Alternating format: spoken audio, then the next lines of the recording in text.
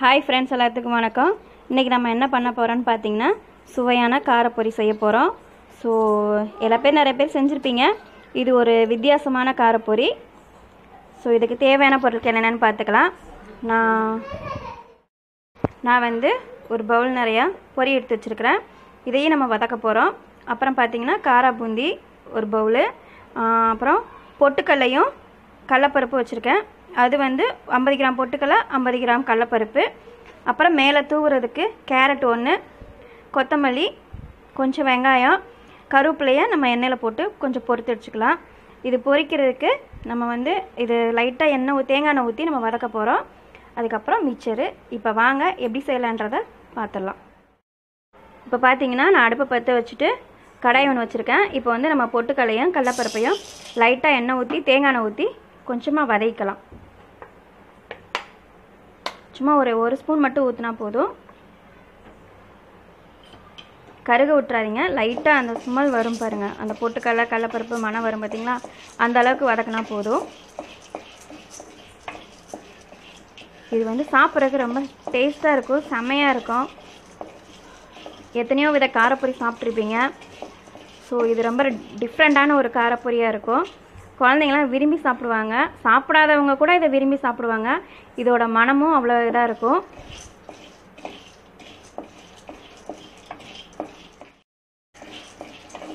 பாருங்கள் அப்படியே லைட்டாக கலர் மாற ஆரம்பிக்குது. இது பார்த்திங்கன்னா உடம்புக்கு ரொம்ப ஹெல்த்தானது தான். நம்ம ஏன்னா தேங்காய் எண்ணெய் தான் சேர்க்குறோம். ஸோ வேறு எந்த ஆயிலும் கிடையாது இது. இதில் கடலப்பருப்பு அஹ், இரும்பு சத்து அதிகமாக இருக்குது. ஸோ இது ஆரோக்கியமான ஒரு இதுதான் அது. இப்போ பாருங்கள் நல்லா அப்படி கலர் நல்லா மாறிடுச்சு. இப்போ பாருங்கள் நல்லா மரும் நறுமணமும் வந்துருச்சு. அதே மாதிரி நல்லா கலர் மாறிடுச்சு பாருங்கள் இதோட நம்ம இறக்கிடுவோம் இப்போ அதுக்கடுத்து பார்த்திங்கன்னா நம்ம பொரியை போட்டு வதக்க போகிறோம் என்ன தான் பொரி வந்து மொறு மொறுன்னு இருந்தாலும் நம்ம அதை லைட்டாக தேங்காய் எண்ணெய் ஒரு ஸ்பூன் தேங்காய் எண்ணெய் ஊற்றி அதை நம்ம வறுத்து எடுத்துக்கணும். அப்போ தான் அந்த கார பொரிக்கின்றது ஒரு நறுமணம் ஒரு டேஸ்ட்டு எல்லாமே கிடைக்கும். ஸோ இப்போ நம்ம வந்து பொரியை லைட்டாக வதக்கலாம்.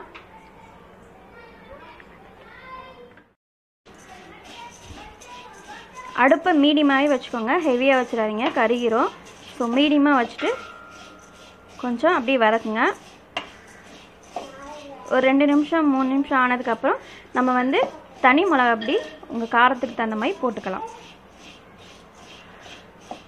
தனி மிளகாய் பொடி கொஞ்சம் கொஞ்சம் ஒரு அரை ஸ்பூன் வந்து பெருங்காயம் பொடி.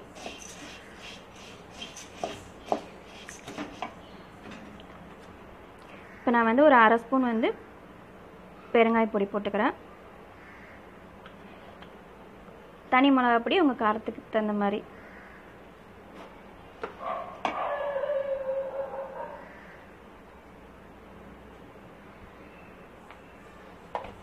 இது ரொம்ப காரமாக இருக்கும். அதனால் நான் வந்து ஒரு அரை ஸ்பூன் மட்டும் போட்டிருக்கேன்.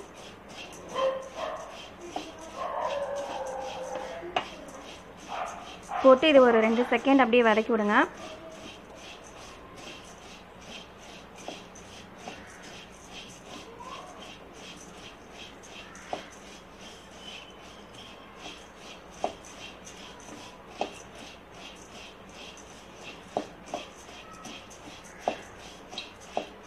இதில் மெயினான இதே பொரிய வறுத்து போடுறதுல தான் நம்மளுக்கு இருக்குது.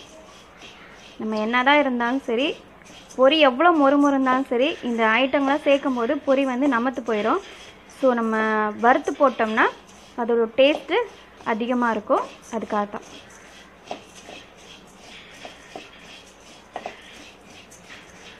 இப்போ பொரி ரெடி ஆயிடுச்சு நம்ம இதை இறக்கிடலாம்.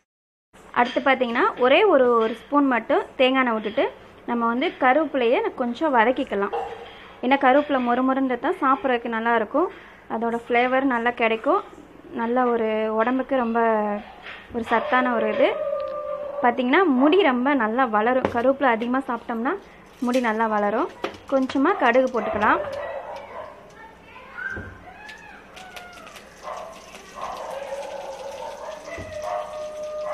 போட்டு இந்த கருவேப்பிலையை கொஞ்சம் அப்படி நல்லா வதக்கி விடுங்க.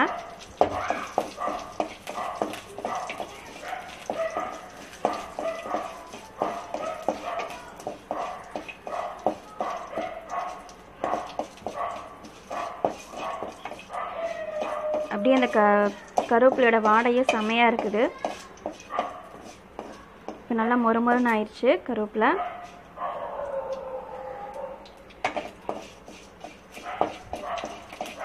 கடுகு நல்லா வெடிக்க ஆரம்பிச்சிச்சு இப்போ ஸ்டவ் ஆஃப் பண்ணிடுங்க இப்போ அப்படியே அதை ஓரமாக ஒரு ஓரமாக எடுத்து வச்சாச்சு. இப்போ நம்ம இதில் வந்து பொரி வறுத்து போட்டிருக்கோம் கடலப்பருப்பு பொட்டுக்கடலை போட்டிருக்கோம். இப்போ அது கூட வந்து நம்ம வந்து காரா பூந்தி ஒரு பவுல் சேர்க்க போகிறோம் ஒரு நூறு கிராம் சேர்த்தா போதும் காரா பூந்தி.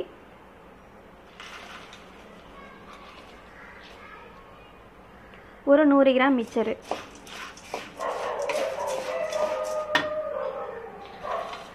இதெல்லாம் ஸ்டவ் ஆஃப் பண்ணிட்டு செய்யணும்.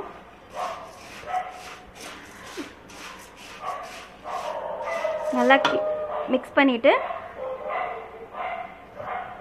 இது கூட இப்போ நம்ம வந்து தாளித்து வச்சுருக்கோம் பார்த்தீங்களா கருவேப்பிலை இதெல்லாம். அதை வந்து இது கூட சேர்த்துக்கணும். இப்போ அந்த கருவேப்பிலை எல்லாத்தையும் நல்லா மிக்ஸ் பண்ணிடுங்க எல்லாத்தையும்.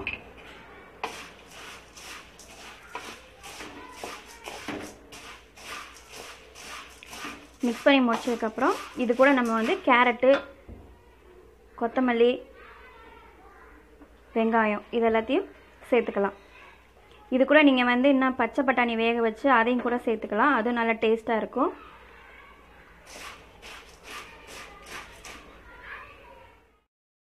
பாருங்கள் இப்போ நம்ம அந்த கருவேப்பிலையெல்லாம் இப்போ நம்ம இது கூட கொத்தமல்லிலாம் சேர்த்தாச்சு. இப்போ வந்து கேரட்டும் வெங்காயத்தையும் சேர்த்துக்கலாம்.